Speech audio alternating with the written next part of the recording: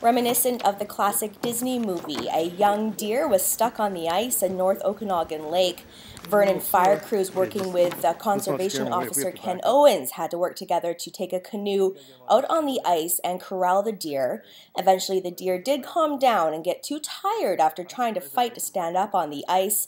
Ken Owens brought the deer to shore, and then with the assistance of fire crews, they were able to take the deer off into the woods where the deer walked away safely. Carmen Weld for Castanet News in Vernon.